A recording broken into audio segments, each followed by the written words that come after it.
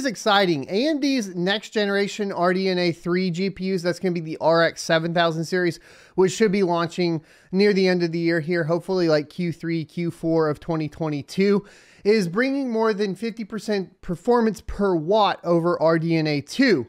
Why is this more exciting than the RX 4000 series? Well, the RX or the RTX 4000 series or Ada Lovelace. To me, it's way more exciting because we're talking about performance per watt.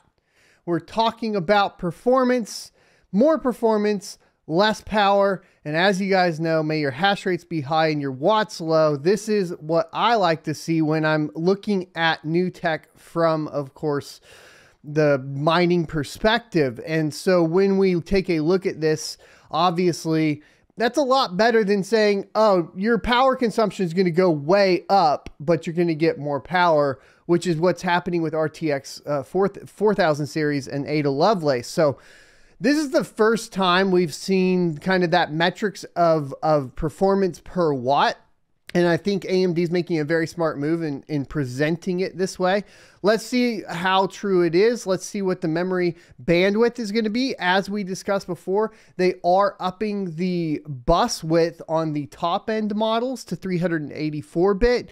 President of Engineering Radeon Technologies Group, David Wang, said that the next gen GPUs for RX 7000 series will offer over 50% performance per watt uplift versus the existing RDNA 2 GPUs.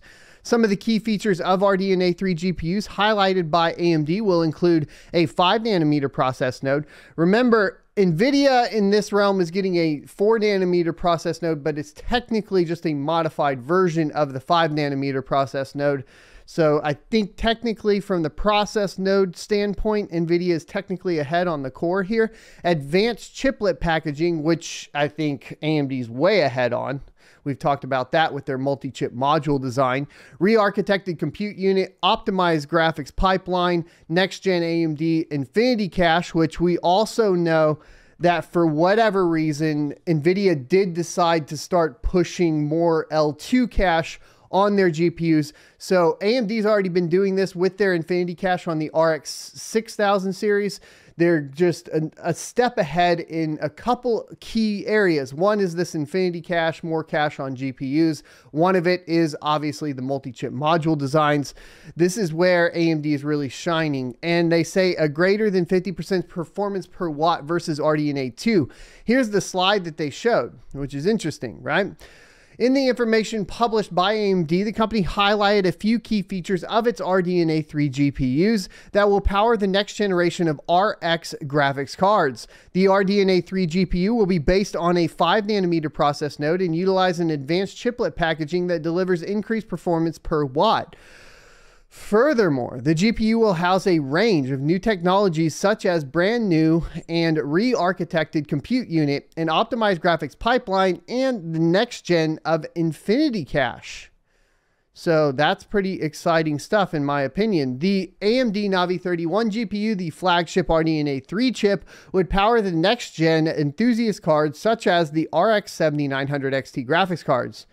We have heard that AMD will drop compute units in favor of work group processors on its next gen RDNA 3 GPUs. Each work group processor will house dual compute units, but with twice the SIMD 32 clusters as opposed to just two on each compute unit with RDNA 2.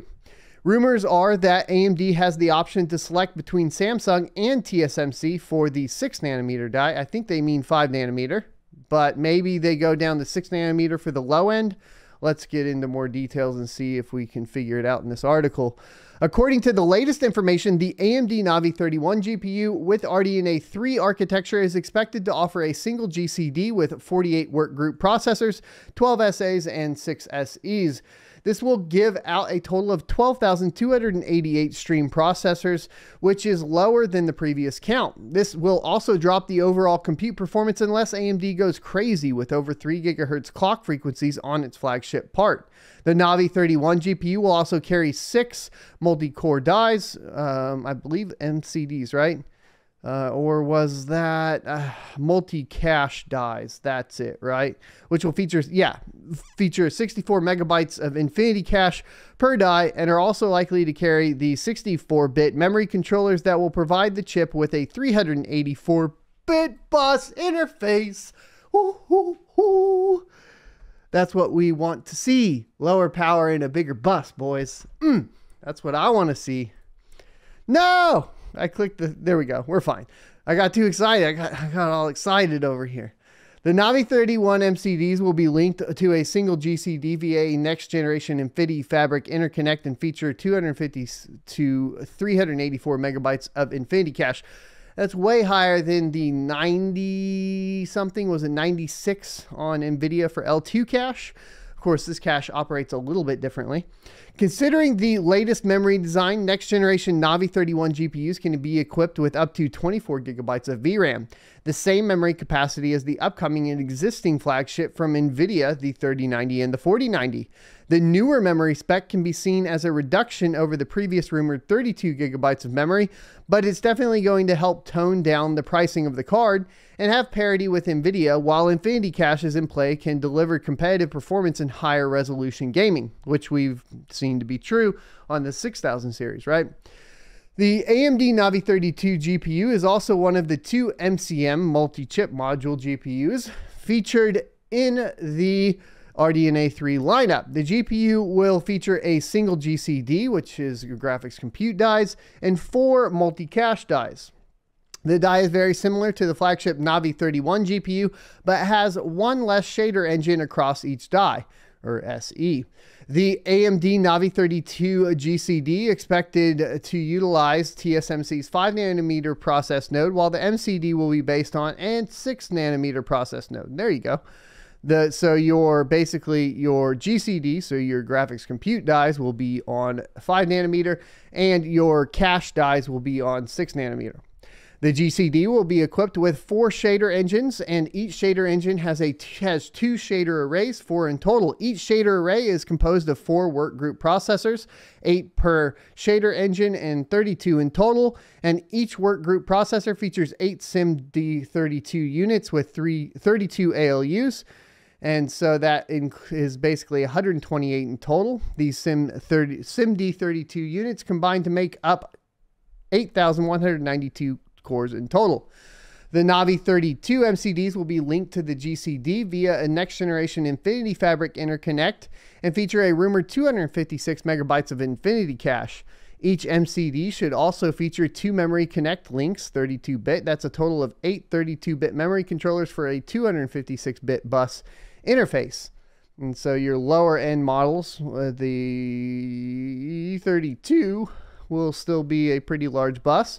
The graphics chip should provide up to 16 gigabytes of GDDR6 memory, the same amount as the existing Navi 21 GPUs, but 33% higher memory capacity than the Navi 22 GPUs.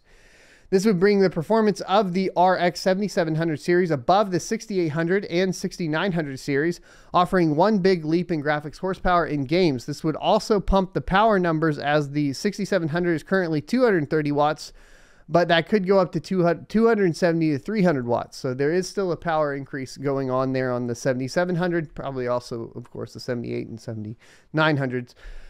We'll get a spec sheet probably down here in just a second. As for the specifications, if Navi 33 is similar to Navi 21, then we can expect a total of 80, 80 compute units, which will pack a total of 5,120 stream processors. If AMD keeps the per CU core count to 64 SPs as the existing chips. Now, what's interesting is that a previous rumor had hinted that the Navi 31 was also going to feature 80 compute units, but would be based on the new RDNA 3 IP.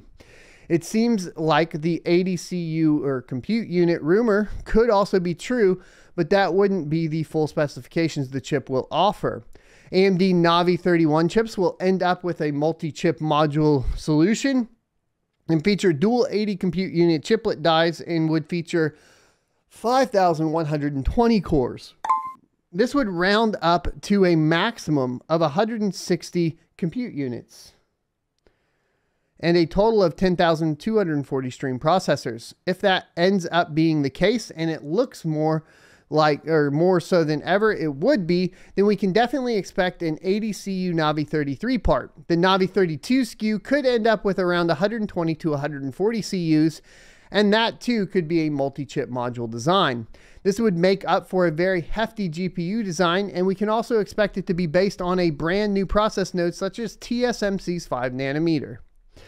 AMD has already patented an active bridge chiplet solution for its next generation GPUs, which comes with an integrated cache and interconnects the multiple dies featured on the Navi 3 GPUs. You can read more about that here. So you have Navi 33, 32, and 31. The question, obviously, so 7900 XT, 7800 XT, and then we get into basically for us the memory this is going to be, I think, the first time in a while, well, actually, ever, uh, definitely with the new architecture, where you have a memory performance increase uh, from the 78 or the 800 to the 900, right? So on the 6800 XT to the 6900 XT, you really had the same amount of memory, the 256 bit bus. Uh, they upgraded obviously the bus size on the 7900 XT, which is going to make it more appealing. The po- power consumption on these is assumed to be 300 watts on the 7800 XT and 400 watts on the 7900 XT. Given that we probably won't see any implementation of Infinity Cache really taking over here, and probably just a slight bump in, of course, the memory speeds. I think we are getting new, faster GDDR6. The last I had checked that does mean we probably still are only looking at somewhere on the 7800 XT around 70 megahash a second or something around there. As far as the calculations on the 7900 XT, um, we could start seeing somewhere closer to that 100 megahash range, depending on the speed of the GDDR6 and how much faster it is. Um, I think the by all accounts, it's possible that it gets up to 21 gigabits per second, which would give us like 120 megahash a second. It's really yet to be seen. I think as far as that goes, because I'm not sure exactly what the refresh of GDDR6 is going to be, but these could end up being fantastic across the board, right? Uh, for uh, basically power consumption, you really wouldn't be that far off and the great news, obviously, with AMD is you get a lot more, typically, especially on Linux, a lot more voltage control over your cores and all of that. Yes, it takes you more time to set up, but I'm thinking as far as mining goes, the 7000 series is looking worlds better than the uh, 4000 series from NVIDIA, at least right now. We also have more roadmap information uh, from AMD. They are confirming their next gen RDNA 4 already for the RX 8000 series GPUs and their Instinct MI300 APUs, and it's supposed to come by 2024. So AMD has confirmed its next generation RDA, RDNA 4 RX 8000 series gaming GPUs and CDNA 3 Instinct MI300 data center APUs in its latest roadmap. While AMD has revealed the first details of its next generation RDNA 3 GPUs, they also revealed the generation the of gaming GPUs that comes after that. And surprise, surprise, it's called RDNA 4. The new Navi 4X lineup is expected to launch in 2024 and will be based on a, an advanced process node. For its CPU lineup, AMD has announced both 4 nanometer and 3 nanometer, so it could be any of those nodes but I would place my bets on 4 nanometer node due to its maturity and the fact that it also matches the naming scheme, which will make for some good marketing. AMD didn't share the numbers, but we at least know that RDNA 4 is a real thing and comes after RDNA 3. So we don't have any real numbers at all right now. Nothing, nothing to really talk about. They do go into more information kind of of what we just covered with RDNA 3. So I'm not really going to pop into that. We should see a new process node and get more information coming from that later. If let's see on the MI300 APU though, David Wang also announced the compute GPU roadmap, which includes Instinct class chips for the AI and data center segment. It can now be confirmed that AMD is indeed working on a multi-chip and multi IP Instinct Accelerator, which not only features the next generation of CDNA 3 cores, but also is equipped with the next generation Zen 4 CPU cores. The Instinct MI300 GPU, technically an APU, is scheduled to launch by 2023. It'll be using the uh, 5 nanometer process node. The chip will be outfitted with the next generation of Infinity Cache and feature fourth gen Infinity architecture, which enables CXL 3.0 ecosystem. The MI300 accelerator will rock a unified memory APU architecture and new math formats, allowing for five times performance per watt uplift over CDNA 2, which is massive. AMD is also projecting eight times the AI performance versus the CDNA2 based Instinct MI250X accelerators. The CDNA 3 GPU's UMAA will connect the CPU and GPU to a unified HBM memory package, eliminating redundant memory copies while delivering a low TCO. So there you go. Uh, obviously, those data center solutions are extremely interesting, but never really make it to us at the end of the day, which is fair. I hope you enjoyed this clip from the Crypto Mining Morning Show every Monday through Friday, 7:45 a.m. Pacific and 10:45 a.m. Eastern Time. You can check out more clips here, or if you're interested in checking out the entire live show, you can check that out down here. Thanks for watching, and I'll see you next Tuesday.